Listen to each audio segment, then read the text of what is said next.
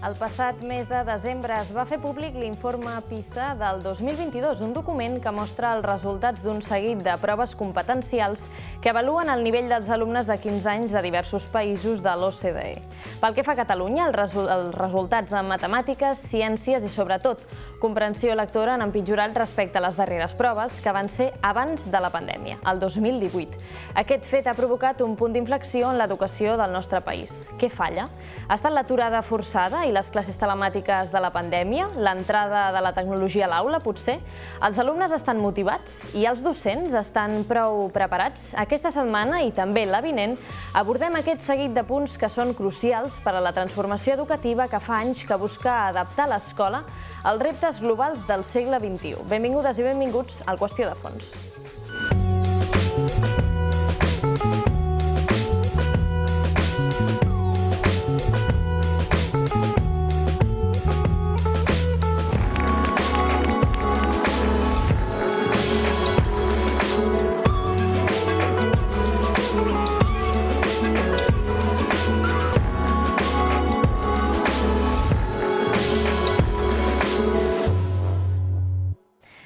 Per fer aquesta tertúlia i també la de la setmana vinent hem buscat diversos perfils que formen part eh, del món de l'escola, eh, ja sigui escola pública, escola concertada, també des de part de la part més institucional de l'administració i per això ens acompanyen en aquest programa. En primer lloc, la senyora Maria Josep Escorriola, que és la directora de l'Escola Maria Cortina de Reus. Moltes gràcies per acompanyar-nos. Gràcies a vosaltres. També tenim el director dels Serveis Territorials d'Educació de Tarragona, el senyor Joan Manel Audí. Gràcies per venir. Molt, molt, molt. gràcies.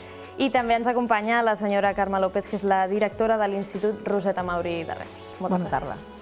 A inicis del mes de desembre eh, es fan públics els resultats de les proves PISA, que, com deien, són unes proves competencials que el que fan és analitzar no? la competència de matemàtiques, també científica i també tenim la comprensió lectora. Els resultats eh, mostraven una davallada en general de diversos, dels diversos països, però sobretot eh, veiem no, que Catalunya feia la davallada. El diari Ara, de fet, feia públiques les xifres amb uns gràfics que veurem ara en pantalla. En primer lloc tenim la competència matemàtica. Veiem que ja hi ha la baixada des del 2015, que serà un tema que, que es dona també en les altres competències. Veiem que continua baixant el 2018 i en el cas d'aquest 2022 doncs, es queden 469 punts. Eh? Seguim la línia vermella, que és la de Catalunya, eh, respecte a la verda, que seria la mitjana de la resta de països, i la blava, que seria l'estat espanyol. Si anem a les proves de la competència científica, veiem que també no, potser és més gradual aquesta baixada que passa pel 2015, des del 2015 baixa el 2018 i encara més al 2022, però es queda una miqueta per sobre, en els 477 punts en el cas de Catalunya, i també, segons el diari Ara, veiem la de la competència de la comprensió lectora, que en els mitjans s'ha no, parlat molt de que potser era la que més feia aquesta caiguda, que es queden als 462 punts i també queia des del 2015. Um, comencem per les reaccions, és a dir, es fan públics aquests, aquests resultats? Jo, la pregunta seria, des de la institució, no, des d'educació, quina és la primera reacció que hi ha davant d'aquesta baixada de resultats? Mira, mm, la veritat és que jo penso que en, en general eh, tota la comunitat educativa eh, ha estat doncs, com una explosió, no? És a dir, -huh. eh, nosaltres crec que eh, una mica la previsió de que els resultats podien ser baixos eh, hi era. No, no oblidem que es tracta d'una prova eh, mostral, és a dir, d'uns centres en concret. Eh, per compte tenim les, les competències bàsiques, d'acord?, que són censals, que són de tots els alumnes. I amb aquestes proves de les competències bàsiques ja havíem detectat que havia hagut una baixada amb les anteriors. Recordem que, com molt bé eh, has dit, eh, són les primeres que es fan després de la pandèmia. Uh -huh. L'alumnat tots ho sabem, que s'ha tingut que, doncs, que quedar a casa, això ha minvat molt la seva expressió i la repercussió en general sabíem que l'havia que, d'haver. La prova l'hem tingut amb les, amb, les, eh, amb les mostres que heu fet d'altres països, on es veu claríssimament que tots els països baixada. hi ha una davallada, d'acord? Aleshores, eh, sí, és cert, Clar, que fos tan pronunciada, doncs, bueno, una cosa que, que, que bueno, s'ha d'estudiar, d'acord? Mm -hmm. S'ha d'estudiar, sí. des de les aules, des de les escoles mateix, quines eren les reaccions que hi havia des del professorat? L'escola Maria Cortina, per exemple. Clar, doncs una mica el que ell deia, no? Evidentment, eh, per sorpresa, sorpresa, no agafa a ningú, no? Potser érem més o menys coneixedors de que els resultats indicarien una davallada. Segurament sí que sobta aquesta davallada tan pronunciada. Eh, clar que n'hem de fer anàlisi i clar que eh, ens sorprèn. Eh, hem de fer una mica de, de valoració tots plegats de què ens ha portat, evidentment, aquí, però eh, tots plegats. Aquí som diversos fronts junts, no? Uh -huh. No només l'escola o no només una administració, hi ha també unes famílies, jo crec que al darrere, no? Entre tots, crec que és un triangle, en aquest cas, no? que hem d'anar a veure doncs, eh, amb què hem fallat no? I, i, evidentment, com millorem aquestes, eh, no? aquests resultats. Uh -huh. Si, si em permets, uh, també hi ha una cosa que s'ha de tenir en compte i és que, perquè això també ha sortit, no? la comparativa de Catalunya en respecte a la resta d'Espanya. També mm, queda molt demostrat que hi ha un lligam entre eh, la pobresa i els resultats acadèmics. D'acord? Ho dic perquè Catalunya també és la, doncs és la, la comunitat autònoma en aquests moments que té més índex de pobresa. Val? Uh -huh el, eh, crec recordar que està al voltant d'un 27% del nostre alumnat afectat, eh, i això és, és, és molt greu, és seriós. Val? Ho dic perquè també mereix una mirada transversal, no? és a dir, que com, han dit, com ha dit molt bé la directora, no? ho hem de treballar entre tots, això, eh? és a dir, treball perquè aquestes, aquestes famílies puguen tindre un treball, no? que hi hagi un recolzament de drets socials, recolzament per a les famílies. Eh? Uh -huh. Eh, l'àmbit socioeconòmic no l'hem d'oblidar, és molt important i és al darrere moltes vegades de, dels resultats acadèmics. No és un únic factor, però és un factor que no podem oblidar. Per tant, l'hem de tenir en consideració i en aquestes proves jo crec que s'ha esdevingut la tempesta perfecta. Hi ha hagut un cúmul de factors que s'han sumat i han donat aquests resultats. La mostra és que no es tracta d'un resultat exclusiu ni de Catalunya ni de l'Estat, sinó que ha estat a nivell global. Dir, totes les proves han tingut eh, amb el mateix grau, no, hi ha hagut països en què han pogut mantenir una mica la han pogut mantenir la línia, tot i que la tendència ha estat a la baixa, i països on la tendència ha estat més marcada, però la tendència ha estat global. Per tant, la resposta és un problema que tenim nosaltres, evidentment, que hem de posar el fil a l'agulla, evidentment, que ens hem de seure, reflexionar, veure què, com podem repartir aquesta situació? És clar que ho hem de fer. Ara bé, no perdem de vista que no és un problema. No, no vol dir, mira, com que ens ha passat a tots és igual, no passa res. Uh -huh. Oblidem-nos i mira, a tots ens ha passat igual. No, hem de posar hem de posar-nos-hi tots, precisament. Uh -huh molt de consens en, en aquest treball, no? que ha de ser conjunt des de l'escola, administració i famílies.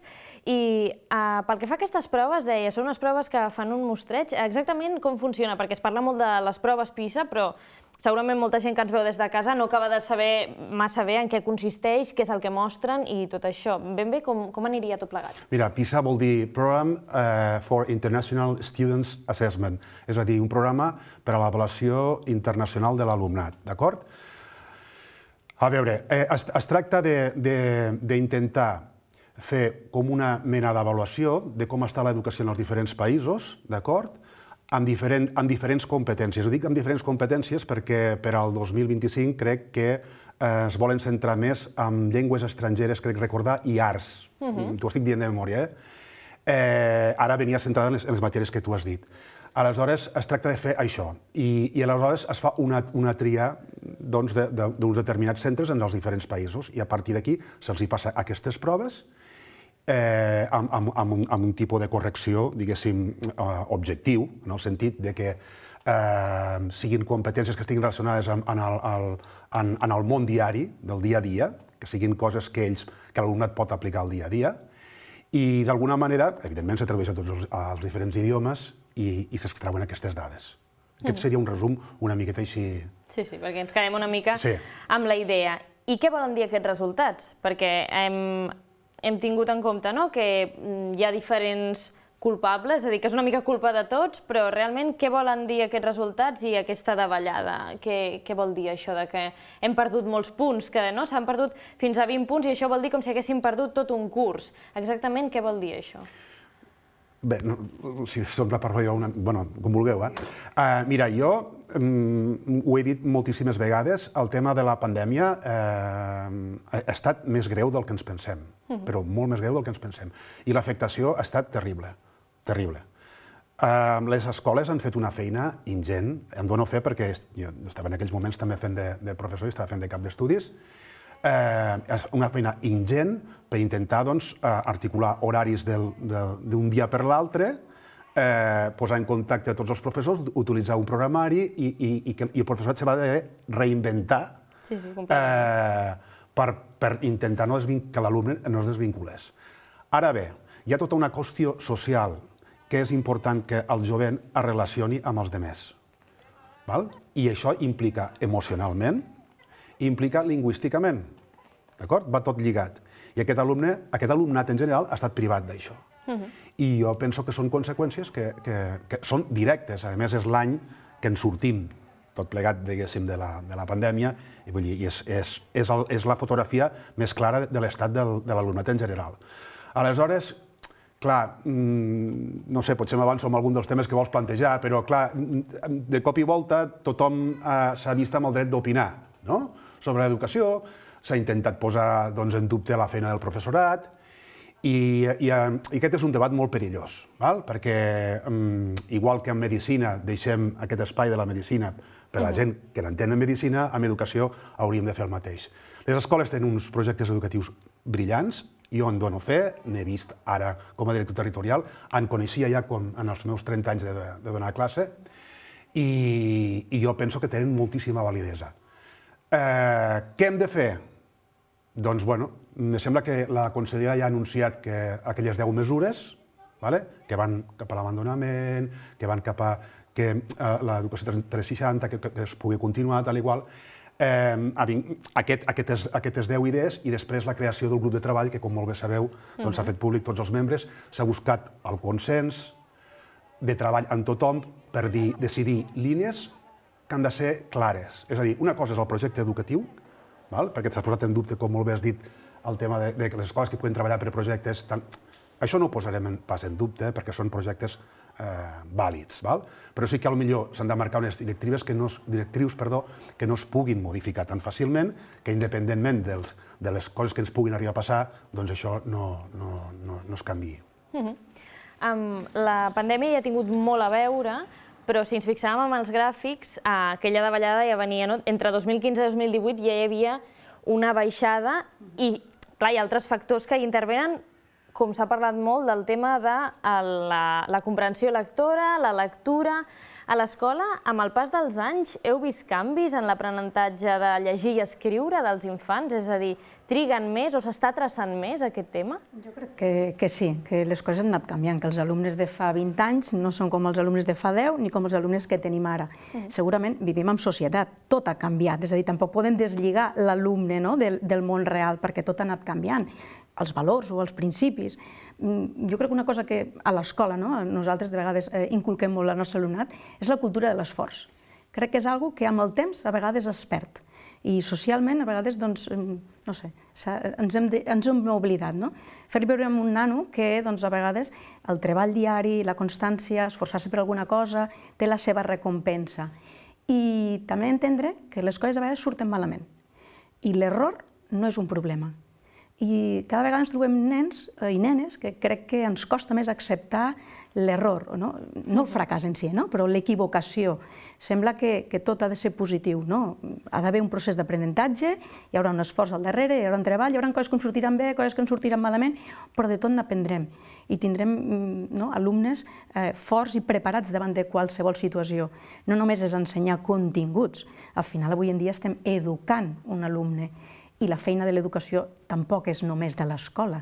Aquí hi entrem tots, en aquest cas, no? no sé. Sí, sí, sí, en aquest cas, precisament, eh, la cultura de l'esforç és molt important i, per una altra banda, aprendre de l'error.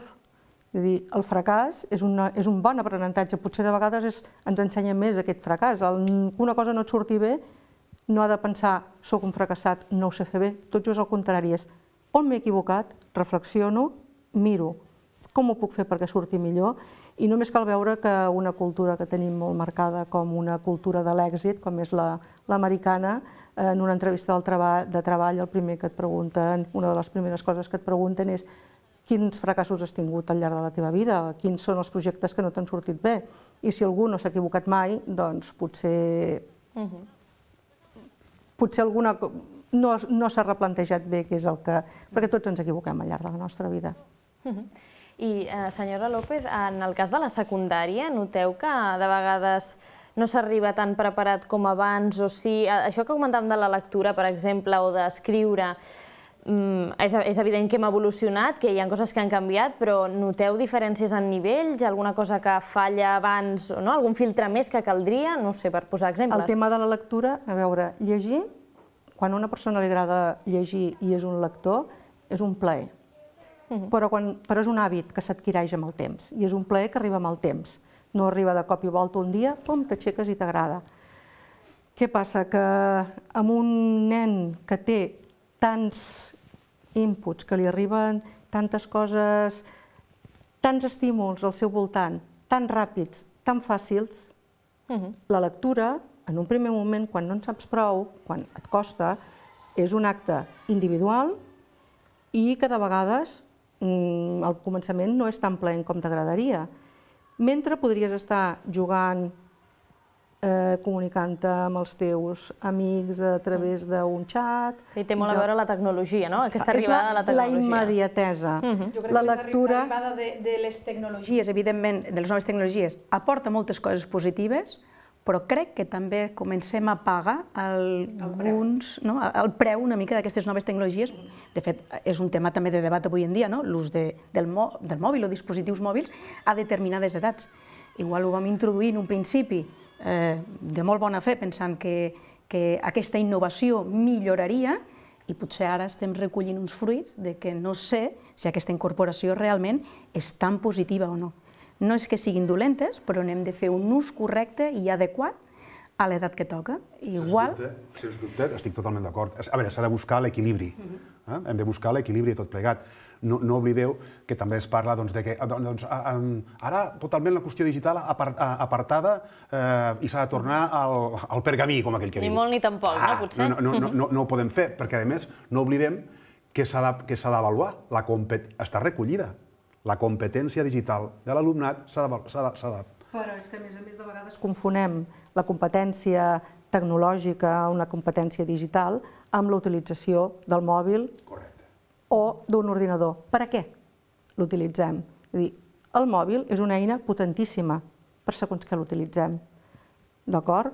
Eh, podem tenir molta informació, però a nosaltres ens ha arribat a les mans el mòbil quan ja teníem una edat i de vegades ens ha costat a nosaltres autorregular la utilització del mòbil.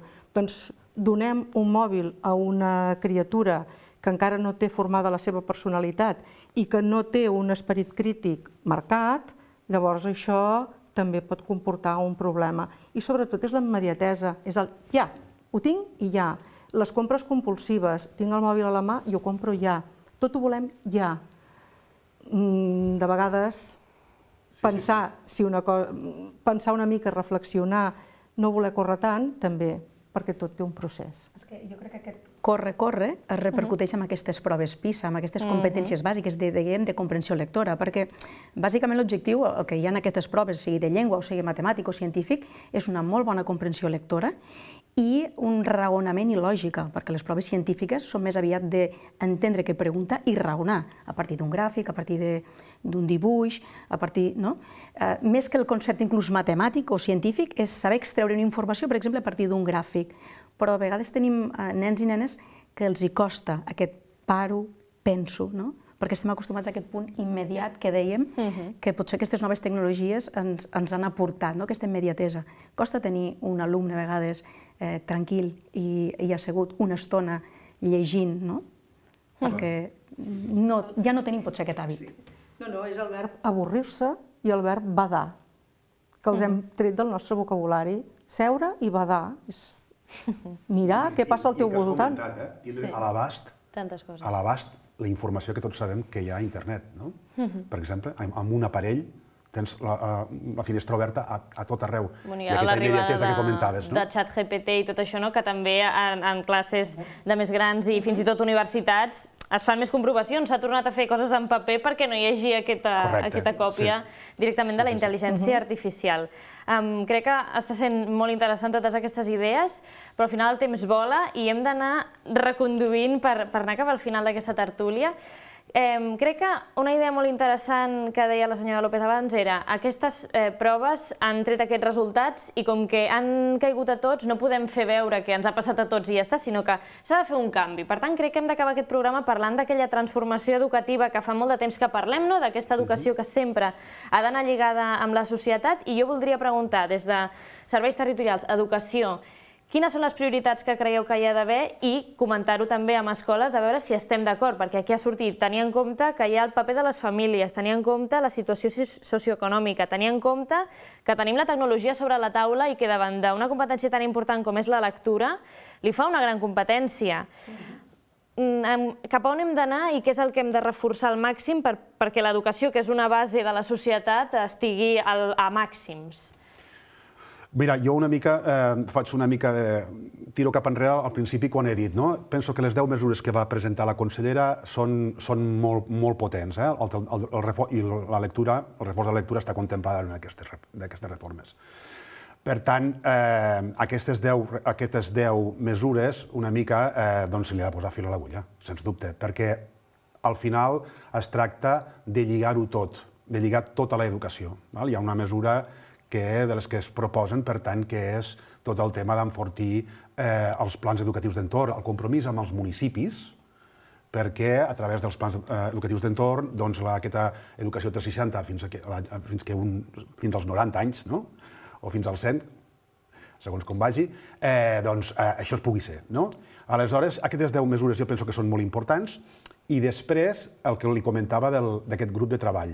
També penso que també serà molt important que aquest grup de, de treball eh, estableixi un, un, unes, una, uns, uns paràmetres, per dir-ho d'alguna manera, que, que mm, passi el que passi, no es puguin modificar, perquè estem acostumats una mica que ara ve la LOMLOE, ara ve una altra llei, entra un altre partit polític a Madrid i, ens, i torna, se torna a canviar la llei d'educació, diguem-ne que tot això tampoc no afavoreix. Vale? Mm. Necessita estabilitat, repòs, i que, la, i que, i que, i que els, els centres educatius puguem treballar amb els nanos doncs, bé i amb tranquil·litat i, i seguint un projecte educatiu de cadascun dels centres i seguint doncs, un, doncs això, apuntalant-ho bé. Aquella idea de l'educació no es toca, que ha sigut molts cops lema del professorat quan ha sortit als carrers des de les escoles. Què s'ha de prioritzar i què creieu que, que ens ha de portar cap a millorar aquestes proves PISA el proper cop? Bueno, jo crec que sí que és important una cosa que, que ara comentàveu, i és que, independentment del partit polític, o sigui, l'educació hauria d'estar per sobre de tot això d'aquí. No? Eh, no pot ser que cada vegada que tinguem un canvi de, de govern o de partit, eh, aquesta llei es vagi no, desdibuixant o, o vagi canviant de nom, perquè en els últims anys hem vist no sé quantes lleis diferents. Eh, ha d'haver un objectiu únic, que ha d'estar al marge d'això, entenc, per sobre, Eh, som receptius, evidentment, a qualsevol no, d'aquestes propostes o d'aquest decàleg que s'està fent. Les escoles crec que estem obertes i, i la nostra funció és, és educar, és ensenyar al nostre alumnat i, evidentment, som superreceptives al que hi hagi. Però hem de tenir les directrius també molt clares i hem d'anar tots a una. Uh -huh. I sobretot jo crec que tots també estarem d'acord en que formem persones que seran els propers ciutadans, que són ciutadans, però seran ciutadans adults i han de tenir una formació integral en tots els aspectes. Com a Acadèmicament han de ser molt bons, però com a persones encara han de ser millors.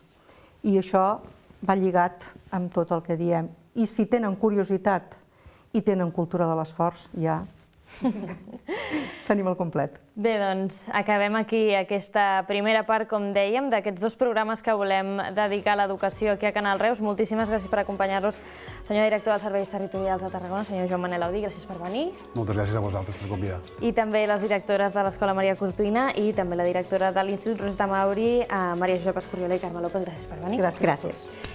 I ja ho veieu, ens quedem amb aquestes idees de tenir en compte les famílies, tenir en compte l'arribada de la tecnologia, la cultura de l'esforç, idees molt importants que han sortit en aquest programa i encara més idees i temes que portarem a debat al pròxim programa, que serà el pròxim dissabte. Ens tornem a veure al Qüestió de Fons de la setmana que ve.